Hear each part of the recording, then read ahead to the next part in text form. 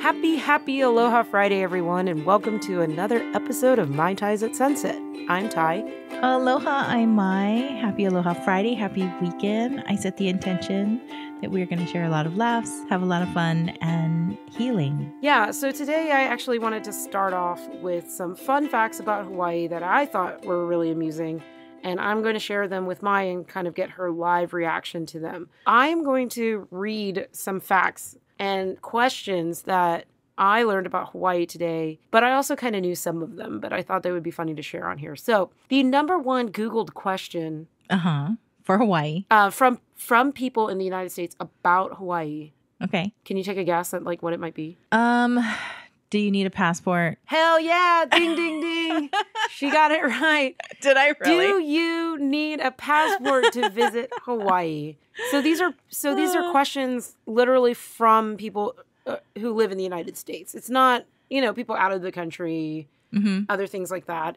Because of course you would need a passport if you were coming from Japan or Europe or whatnot. Mm-hmm. In actuality, people don't realize that Hawaii is part of the United States and it is the 50th state. Yes. So it's the very last one to join the gang. I just think people are like, oh, it's in the middle of the ocean. I've got to have my passport because it's a foreign country. I've been, I've been asked that a couple times. Is, is Hawaii a, like foreign lands?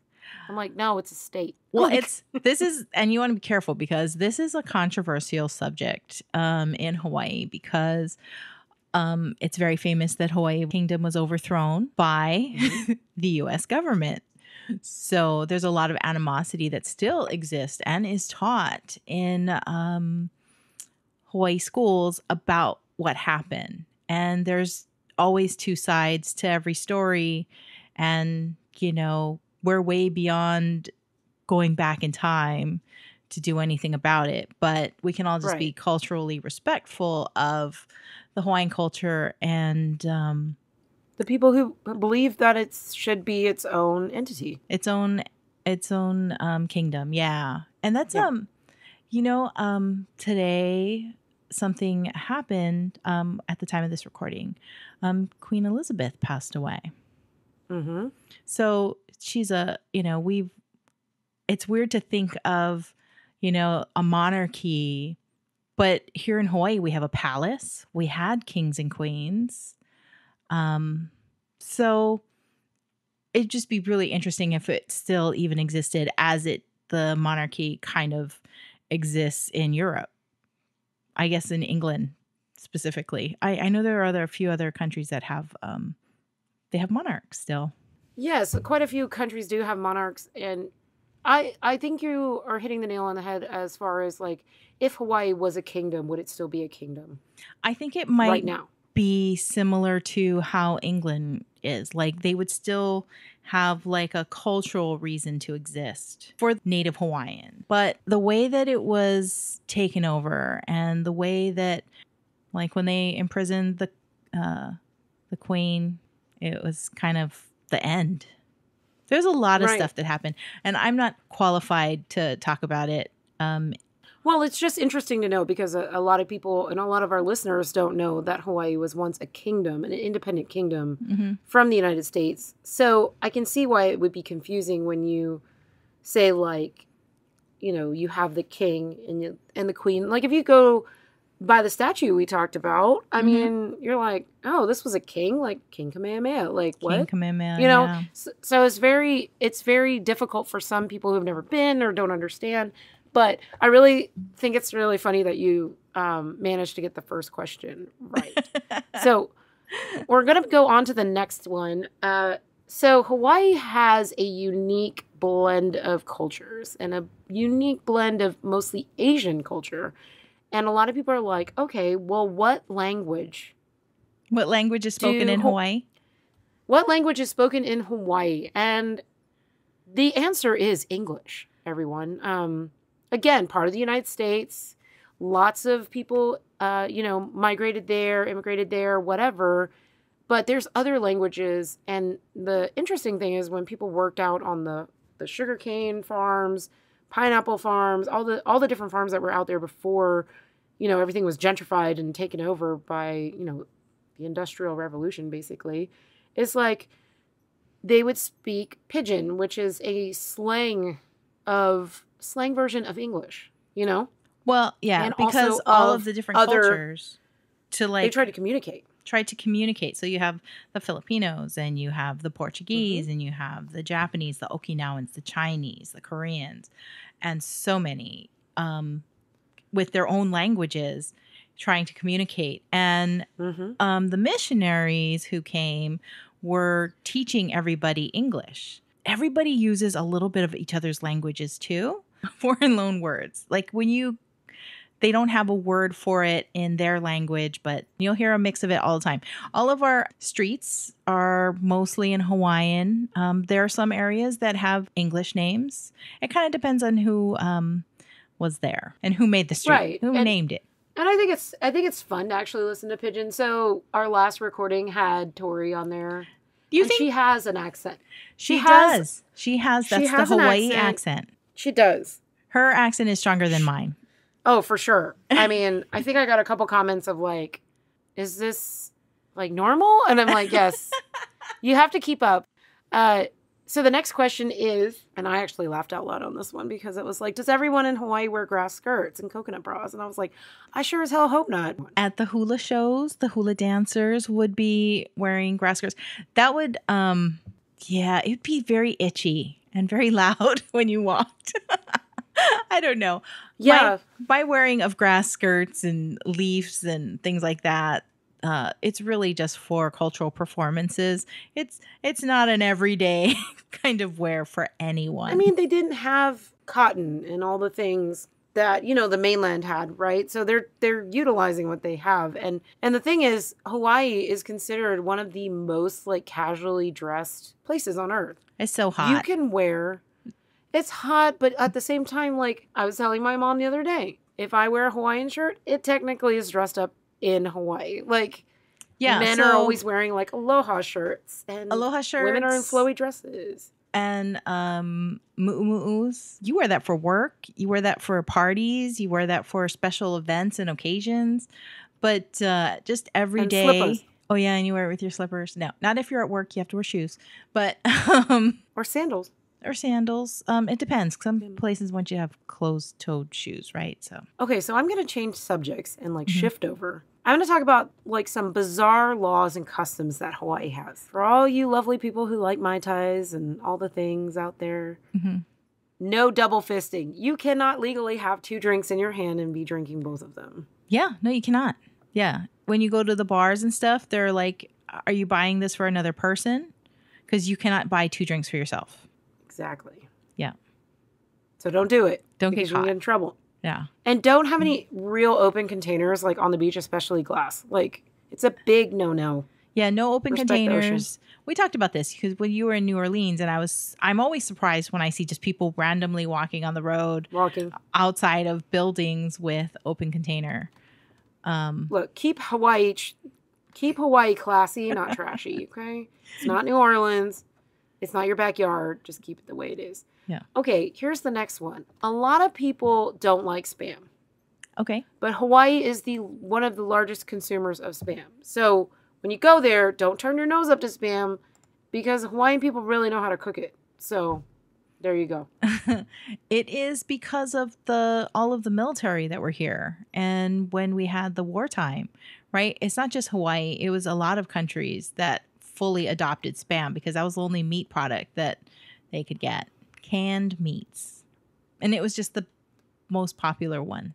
Okay, so Any you're more? getting close to this list. Yeah, Okay. I've got a few more. There are no cat or dog people allowed in Hawaii as far as you know how somebody says you're a cat lady Uh-huh. or animal hoarder? You can't do that in Hawaii. So it's against the law to have more than 15 dogs and cats at any time. I didn't know that. I was like, wait, you can't have But I know 15. people. I know people who have It's that. apparently very, very legal. Oh, it might be like a per how much square footage you have. Maybe. But it's literally says like just because of health reasons, you shouldn't have more than For health reasons. I know that there have been a lot of raids and animals taken away from people who have had Mhm. too many on their property. All right, here's a fun one. So Hawaii used to have a law that says you could not leave your house without knowing where you're going. It was called the no wandering law. So you couldn't leave your house and just walk without a destination. That's interesting. I didn't know that one either. But that's not a law anymore, but I thought it was really funny. Hmm. Um, did you know it's illegal to feed the sharks? Oh.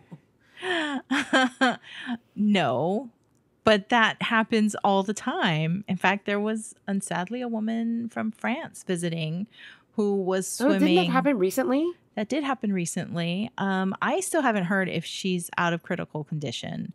Um, I really hope she makes it. But she's from France. France has the entire Côte d'Azur, right? The all that water. She should know better.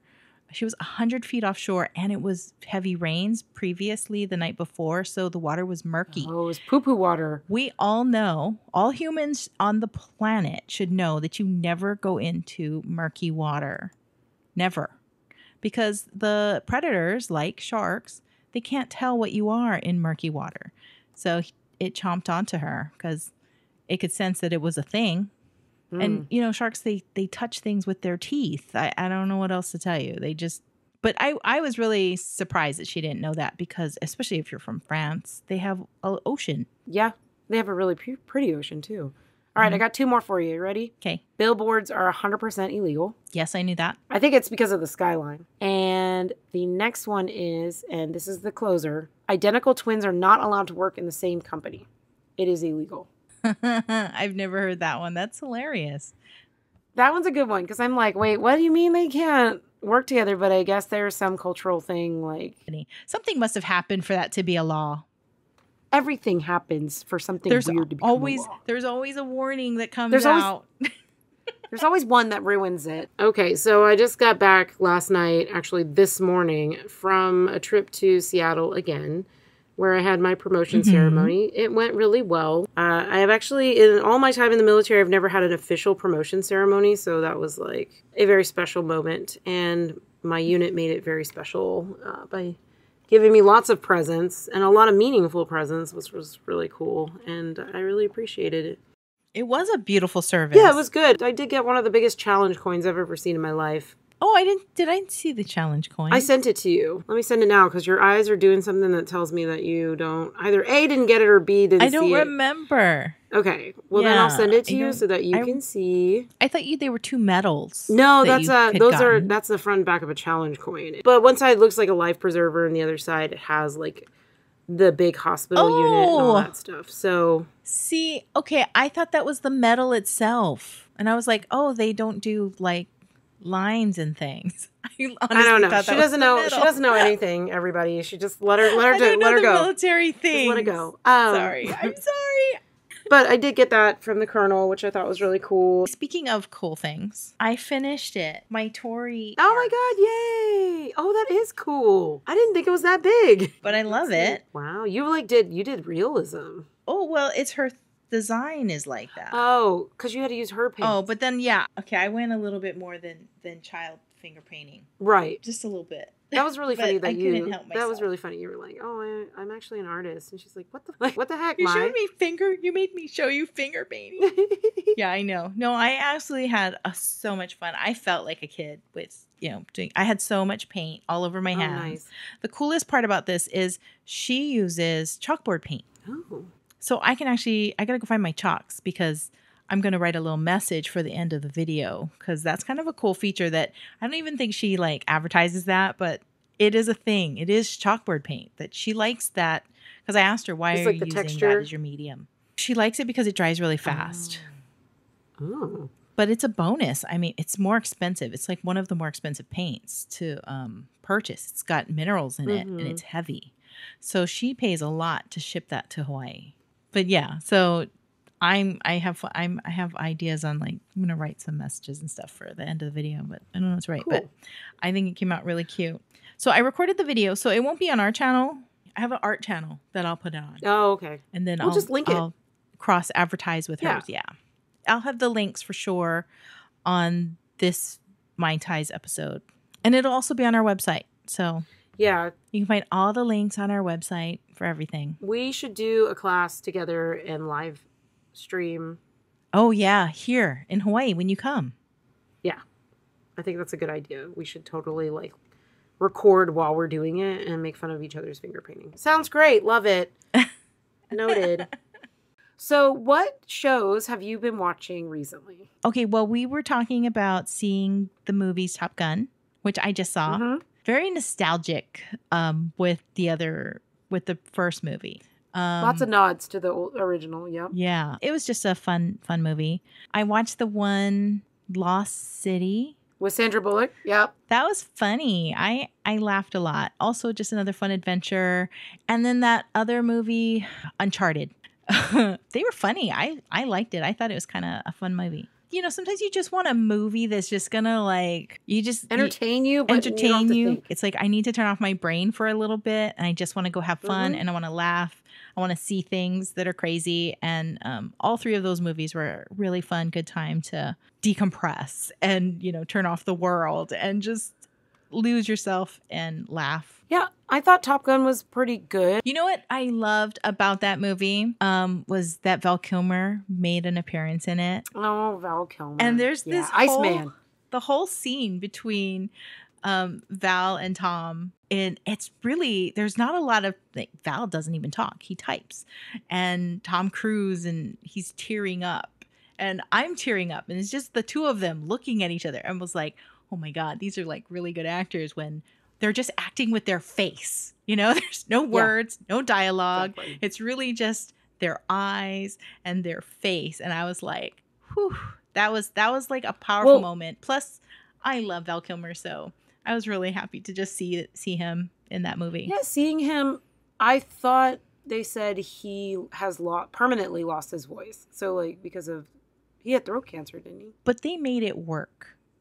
Well, I'm glad you enjoyed it. I, I enjoyed it too, for what it was worth. I was like, okay. We're doing movie and At TV reviews. So funny. Um, okay, so TV. What are you watching on TV? Game of Thrones, Ring of Power. I'm watching the South Korean drama Attorney, The Extraordinary Attorney Woo.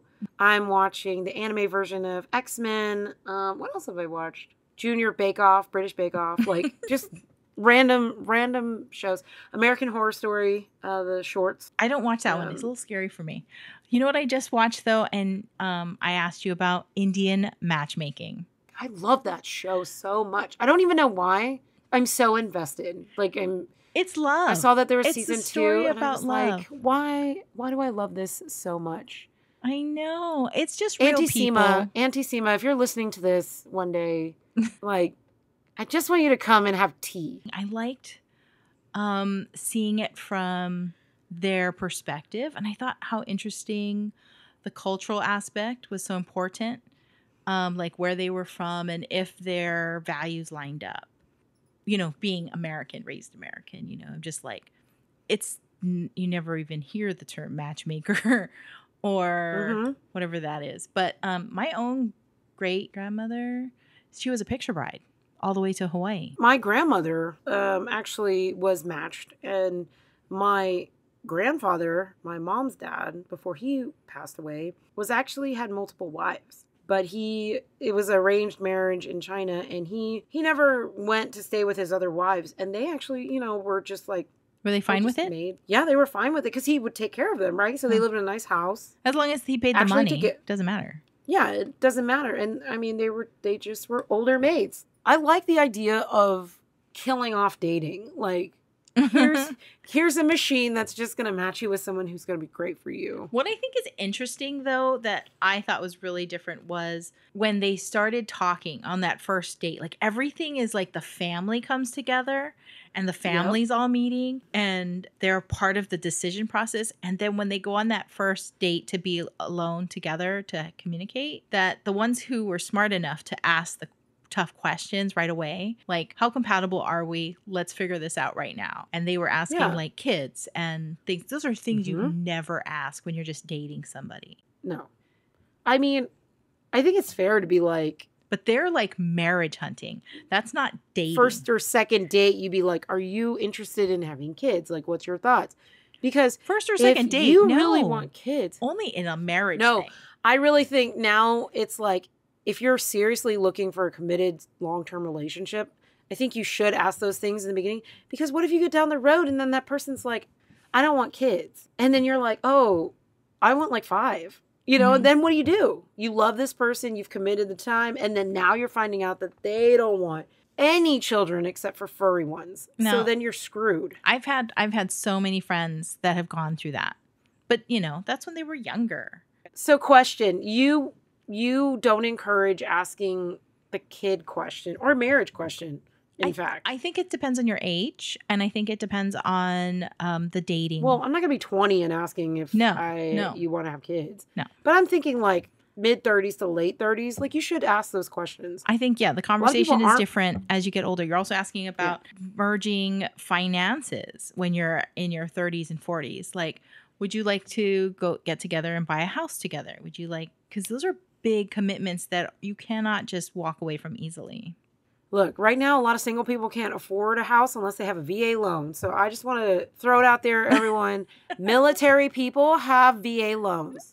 They still get those low mortgage rates, okay? So in the bigger picture, Mhm. sometimes military people are not that bad. Also, speaking of military, um, there's a lot of young guys who, or young women who, when they sign up, they are assigned to the barracks. But to get out of the barracks, they just have to get married. yeah. Once you get married, yeah. you don't have to stay in the barracks. And if you could just stay married to them for like, how long do you need to get all the benefits? 10 years? I think two years. No, two years. You only have to be married to a military person to get medical and dental for life. I think so. I think it's like two to four. It's not 10. I know it's not 10. But I think I think now they've changed it to where you can't get any benefits if you divorce. Oh, Kids can. the kids can't. Because Oh. they wanted to stop they wanted to stop people from like getting married for just getting married reasons. to get, I mean, you get a lot of soldiers you get, get to live in a get nice house. You get more pay. I mean, the military machine a lot is of all about, you know, creating families, and it's amazing. If you can get sucked up in that, you're gonna be set for life. So Well, I'm gonna tell I'm gonna tell our audience don't marry anybody who's an E three or E four and below because you're not gonna get any money. I think a private now gets three hundred dollars a paycheck. So if you're looking to bankroll with them, you're not gonna get any of that mess. But and you do get you do get to shop at the commissary where groceries may be cheaper sometimes. It depends on where you are. three hundred dollars a week or every two weeks, y'all. Three hundred. What are you gonna do with three hundred dollars over two weeks? Nothing.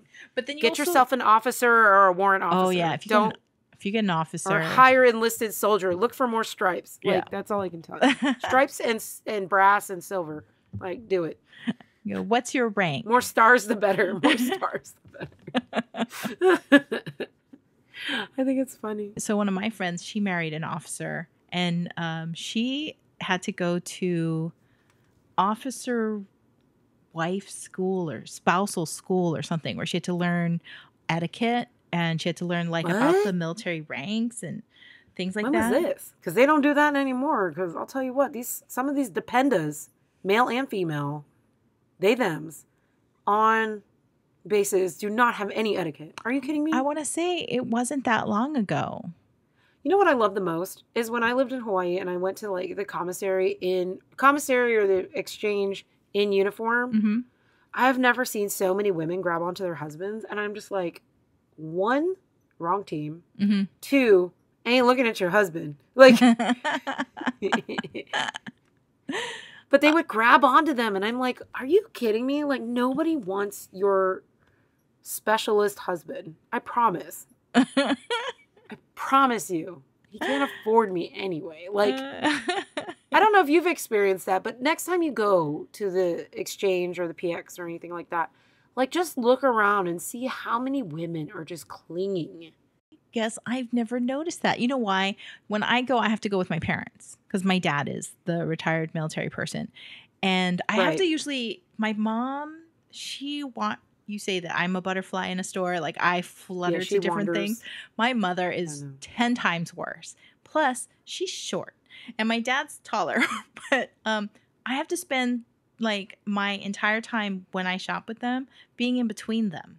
I have to make sure I know where my father is. I have to make sure I know where my mother is, and I have to make sure that they find each other. Also, I'm Does your dad push the cart? yes, he holds onto the cart. He's he's a good husband. She's trained him well, and she runs around the store grabbing anything, and she'll forget. and She'll go like ten aisles back in another direction, and then she'll come back again. And I'm like, oh, there she is. Oh, there she is. And then I have like my own little tiny list that um I'm trying to find things.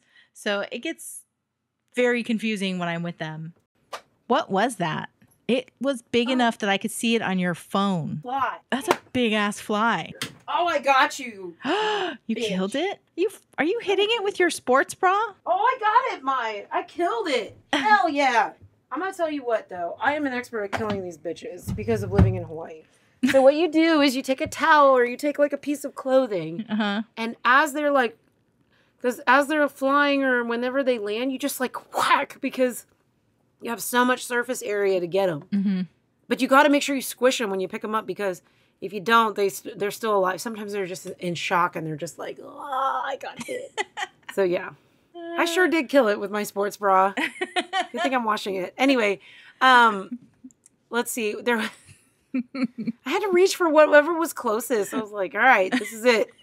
Um, you know what the most effective one is? Is my bathing suit. Like because it has that like, kind of, stretchy. Yeah. Right. So it like actually goes further and it Mhm. like wapa. Anyway, yeah, no, that was a big, huge fly. Um, so I'm glad I got it. Um, there was something I was gonna say. About my mother and father shopping? About the commissary? Oh, my mom is so excited about going to Hawaii next year and just like hang out with your mom. Mm-hmm. You, we were going to talk about like a list of things that um, we should let our mothers do.